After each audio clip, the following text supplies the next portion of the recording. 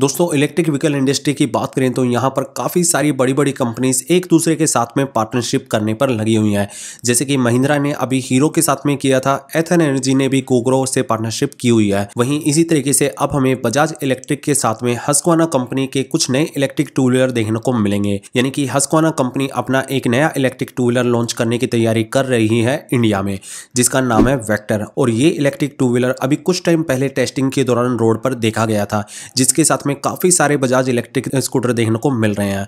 तो सबसे पहले अस्कवाना कंपनी की बात कर लेते हैं। ये कंपनी एक प्रीमियम टू व्हीलर बनाती है। इनकी बाइक्स दो लाख से स्टार्ट होती है, जिसमें कि काफ़ी यूनिक टाइप का डिज़ाइन दिया जाता है, जो कि काफ़ी लोग पसंद करते हैं और रोड प्रेजेंस काफ़ी अच्छी होती है। वहीं इस कंपनी को ओन करता है के जी हाँ दोस्तों, ये कंपनी के के अंडर ही आती है। फ़िलहाल के शोरूम के अंदर ही हमें बजाज इलेक्ट्रिक स्कूटर देखने को मिलता है और अब हस्कवाना वेक्टर इलेक्ट्रिक स्कूटर भी हमें इसी में देखने को मिलेगा। इस इलेक्ट्रिक स्कूटर का डिज़ाइन काफ़ी ज़्यादा यूनिक है और देखने में ये स्कूटर काफ़ी ज़्यादा प्रीमियम भी लगता है।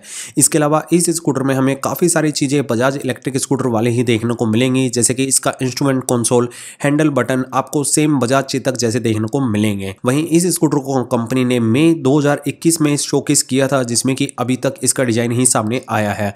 और ये स्कूटर एक फुल्ली प्रीमियम फीचर से लोड है, जिसमें कि सभी एक्सपेक्ट कर रहे हैं कि इसमें हमें फुल एलईडी लाइटिंग पैकेज मिलेगा fully digital instrument cluster anti theft alarm, reverse mode, cruise control जैसे फीचर आपको इसमें मिल जाएँगे। इसके अलावा Husqvarna Vector scooter Bajaj Chetak platform पर आने वाला है, जिसमें कि फोर किलोवाट की ब्रशलेस डीसी मोटर मिलेगी, जिसको पावर देने के लिए थ्री किलोवाट आर की लिथियम आयन बैटरी इसमें दी जाएगी, जो कि 95 किलोमीटर की रेंज निकालकर दे देगी ऑन ए सिंगल चार्ज वहीं इसमें टॉप स्पीड की बात की जाए तो यहाँ पर 70 किलोमीटर पर आर की इसमें स्पीड देखने को मिलेगी, जो कि मल्टीपल राइडिंग मोड के साथ में आने वाली है। वैसे बजाज चेतक में हमें कोई भी फास्ट चार्जिंग का ऑप्शन नहीं मिलता बट हस्कवाना के इस स्कूटर में हमें फास्ट चार्जिंग का ऑप्शन भी देखने को मिलेगा। इसके अलावा इस स्कूटर में फ्रंट में disc brake with single side fork suspension दिए जाएँगे और रियर में मोनोसोक सस्पेंशन होंगे। तो ओवरऑल इस स्कूटर को इंडिया में बनाया जाएगा, जिसके बाद में इसको और कंट्रीज़ में भी एक्सपोर्ट किया जाएगा। और इसका डिज़ाइन काफ़ी कमाल का है। ये स्कूटर काफ़ी प्रीमियम कैटेगरी में आने वाला है। बट अगर कंपनी 100 किलोमीटर तक की रेंज के साथ में इस स्कूटर को लॉन्च करती है